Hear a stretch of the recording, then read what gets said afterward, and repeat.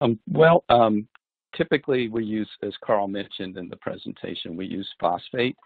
Um, you know, anything that, that you know, in the absorption solution or anything that might not enter the gas phase can be used, but uh, or phosphate is what we normally use as an internal standard.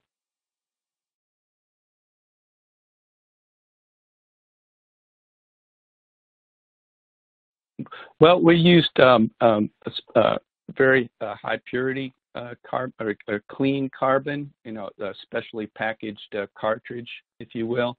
Um, it was, um, um, and it's described in the application note. Um, it was um, uh, activated carbon AOX pack premium, um, and it was available from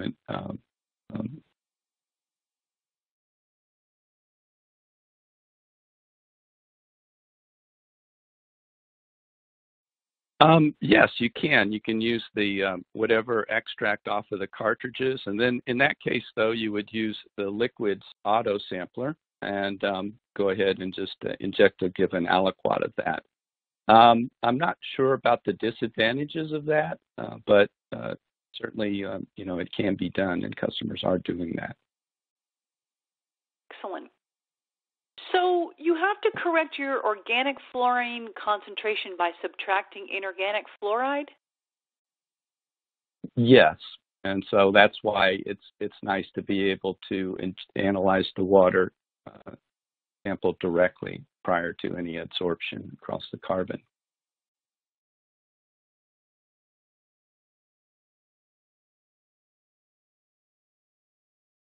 Um, yeah, you, know, again, that's all part of your breakthrough studies. We we typically use a flow rate of about three mils per minute, uh, but um, certainly you you don't want to uh, uh, go too fast. The slower, the better.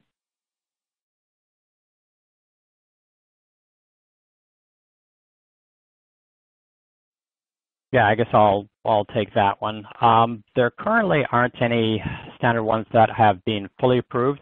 There are, at least as far as I'm aware, there is one that the uh, is looking at. It's in draft form, so it's with, with one of the um, the work groups, working groups, and it's been progressing along. It's it's not quite there yet. There's also a DIN method that is available in draft form for, um, and that one's more specifically for a AOX, but a lot of what's uh, done there can be used for for looking at AOF uh, specifically also. So there are some in the works and I believe the EPA is looking at um, developing a method themselves. So there's a, there's quite a bit of work happening on, on creating standards for this particular method.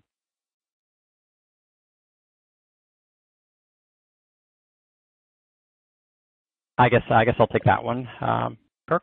Uh, so if uh, actually if you look at the uh, customer application note, the the 73481, it does go into quite a bit of detail about that, and it looks at recoveries uh, it, it, looks at 26 different compounds, and about 18 of the 26 do have a recovery that's between 60 and 120 percent. Uh, what what was found by by the researchers who who did this work is that uh, things that weren't retained were things like uh, perfluorinated C1 and C3 carboxylic and sulfonic acids.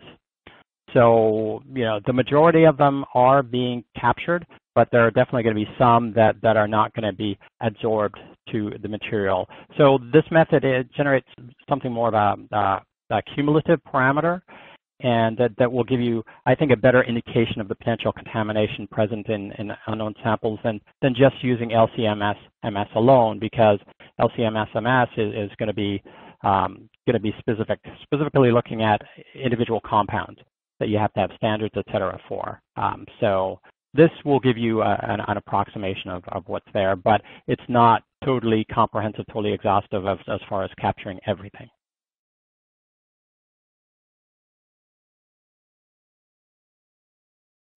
Um, no, that would be um, it would be in addition to the IC um, or, or well, it, it, it, I guess yes. The the injection valve that we use uh, for the large loop uh, is integrated onto the uh, IC system. It would just require an extra pump, a carrier pump, if you will, um, and a, a, an associated trap column on that carrier pump.